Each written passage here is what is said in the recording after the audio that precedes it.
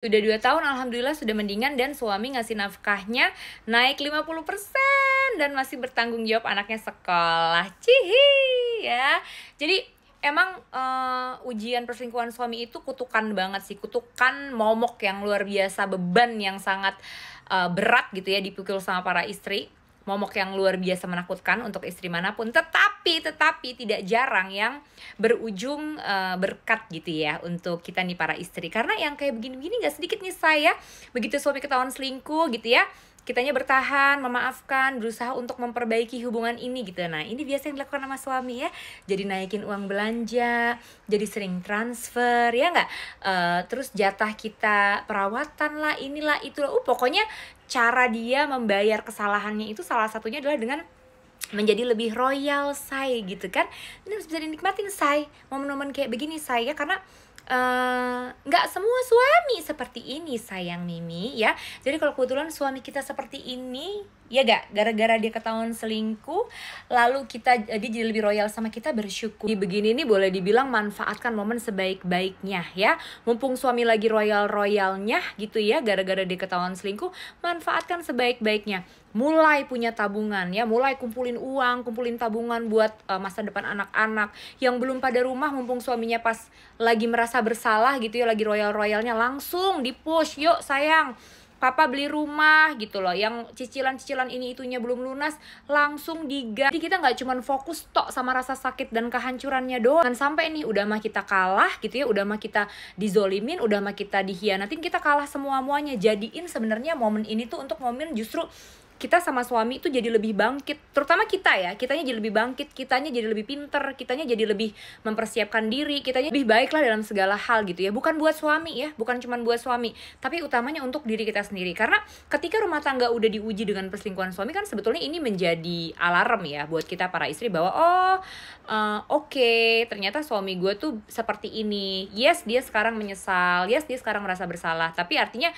karena sudah ada case seperti ini jadiin warning ya kejadian ini tuh seharusnya reminder yang kuat buat kita bahwa oh kemungkinan akan ada ujian-ujian seperti ini lagi atau mungkin ujian-ujian yang lebih berat lainnya di kemudian hari. Nah, bagaimana sih aku supaya besok-besok tuh kalau ada ujian besar lagi, aku bisa cepat dan tegas memutuskan harus apa karena semua persiapan yang aku punya tuh udah bagus. Jadi kalau pilihannya memang mau bertahan, yuk bertahannya bertahan yang cerdas jangan bertahannya terus-terusan sibuk cuman ngungkit-ngungkit cuman overthinking cuman berantem terus nggak karuan nggak jelas. Untuk memuaskan ego dan yang ada akhirnya hubungan kita sama suami malah jadi semakin jauh. Yang ujung-ujungnya semuanya hancur. Nggak ada yang menang nggak ada yang kalah. Anak menjadi korban. Pilihan tetap masih mau bersama dan bertahan menurut Mimi bertahannya yang cerdas gitu ya. Oke kita pasti sakit hati kita pasti sedih kita pasti terluka ya. Mal wajar. Itunya dirasain nggak apa-apa. Tapi logikanya tetap harus jalan ya. Dimulai sekarang selain merasakan sakitnya lukanya sembari memulihkan diri jangan lupa yang lainnya juga harus ikut diatur. Nih suami udah pernah ketahuan sekali begini nih ya. Gue masih tetap sama dia. Anak-anak gue masih pada kecil-kecil. Udah gue daripada cuma ribut tiap hari overthinking doang trauma doang larang dia begini larang dia begitu pokoknya ngata-ngatain dia mulu ngungkit-ngungkit mulu mendingan suami itu mulai diarahin sama kita sayang yuk beli rumah. Sayang yuk kita lunasin mobil. Sayang uh keruk terus keruk terus nih keruk keruk keruk keruk keruk gitu loh. Duit suami itu dikeruk buat apa? Buat anak-anak ya. Kalau kemarin kita santai-santai nggak tahu apa-apa mikir kayak ah aman suami gua mah aman suami gua mah nggak taunya jedang. Dikasih ujian kayak begini. Kaget kan? Ternyata kita belum punya apa-apa. Karena sebagian besar uh, tetap bertahan setelah ketahuan suami selingkuh itu selain karena kita cinta sama suami ya alasan lain yang paling besar itu adalah karena kita nggak punya apa-apa gitu loh. Kita nggak punya pekerjaan kita cuma ibu rumah tangga biasa anak masih pada kecil-kecil. Kita masih butuh suami gitu karena masih banyak cicilan karena ya anak perlu biaya dan lain sebagainya. Jadi menurut Mimi ya di situasi seperti ini oke, okay, sakit hati hancurnya oke. Okay. Mari kita rasakan, mari kita bawa dalam doa biar Allah bantu kita memulihkan rasa sakitnya tapi juga pakai kecerdasannya ya.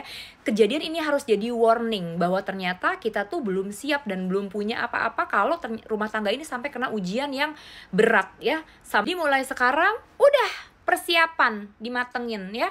Semua cicilan yang belum lunas dilunasin. Semua yang kita pengen punya tapi belum sempat punya kejar suami. Mumpung suami lagi di fase merasa bersalah dan tiba-tiba menjadi sangat royal karena dia ingin menebus kesalahannya sama kita. Udah fokus di situnya aja fokus berkembang gitu loh. Oke kalau rasa sakit dan uh, terlukanya kan nggak mungkin hilang begitu saja tapi jangan itu doang. Itunya oke tapi tetap logikanya harus dipakai. Jadi biar bareng-bareng gitu ya. Supaya ujian ini, rasa sakit ini itu nggak sia-sia. Kan jadi sebuah kejadian yang menghancurkan kita, tapi bisa juga menjadi kejadian yang bikin hidup kita justru naik derajat. Itu kan semuanya harus kita loh yang ngatur ya. Harus kita loh yang konsepin. Laki-laki mana ngerti? Laki-laki mah kalau udah lagi kayak begini nih, dia udah kayak orang dungu aja begitu ya. Dia udah kayak ngangong-ngangong, merasa bersalah apa segala macam, nggak ngerti apa-apa. Semuanya itu udah mulai harus kita yang atur ya kita yang arah-arahin mumpung suami lagi nurut lagi kayak begini kita arahin hal-hal yang bermanfaat buat keluarga kita buat anak-anak kita terutama jadi setelah rumah tangga ini diuji sama perselingkuhan suami yang dahsyat banget goncangannya kita berdua, kita suami dan anak justru lebih naik derajat, justru lebih naik tingkat. Itu kan butuh kecerdasan kita juga ya.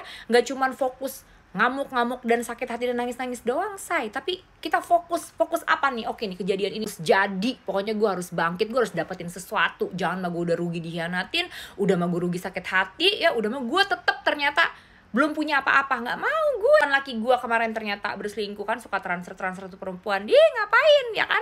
Mendingan sekarang hmm, mumpung suami gue lagi kayak begini hajar ya beli ini beli itu. Nasin cicilan tabungannya banyakin. Kalau perlu buka usaha ya pokoknya semuanya dirapihin semuanya diberesin semua persiapan tuh bener-bener dikerjain. Biar apa? Biar one day kalau ada ujian berat lagi kita nggak segoyang ini. Karena semua persiapan dan kemandirian kita tuh udah kita uh, persiapin dari sekarang sayang Mimi. Jadi nggak apa-apa. Kalau suami ketahuan berselingkuh terus kita masih memilih untuk bertahan tetap sama-sama dia.